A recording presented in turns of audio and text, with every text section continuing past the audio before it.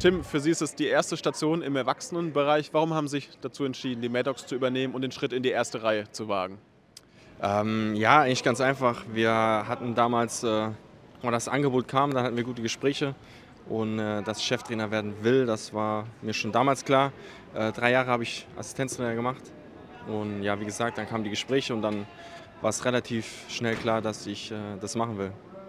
Sie sprechen es an, Assistenztrainer im äh, Jugendbereich beim Mannheimer EHC. Was ändert sich jetzt für Sie in der, am Aufgabenbereich, auch hinsichtlich Männer- und Damen-Eishockey? Ja, ändern tut sich äh, ganz einfach. Ich, muss, ich bin für alles verantwortlich, alles oder die ganzen Entscheidungen, die ich treffe. Ähm, zu dem muss ich stehen. Ähm, ich muss alles planen, so wie ein Cheftrainer. Als Assistenztrainer war es ein bisschen entspannter, aber ähm, es macht super Spaß.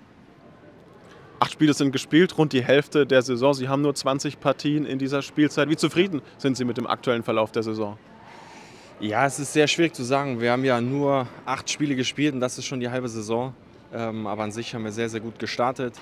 Haben dann zwei Spiele verschlafen daheim gegen Berlin. Ähm, ja, das gehört auch dazu. Die müssen sich erstmal an das neue System gewöhnen, die Mädels. Ähm, aber ich bin guter Dinge. Sie sagen, Sie möchten, sollen sich ans neue System gewöhnen. Was haben Sie vor mit Ihrer Mannschaft? Ja, ein neues System bedeutet ja verschiedene, verschiedene Taktiken ähm, und daran müssen sie sich erstmal gewöhnen. Die letzten sechs Jahre haben sie ein anderes System gespielt und jetzt eben das neue System von mir. Okay, da wollen Sie also noch nicht zu viel verraten. Sprechen wir vielleicht ein bisschen über die Zielsetzungen. In den vergangenen Jahren gab es die Vizemeisterschaft, Playoff-Halbfinale.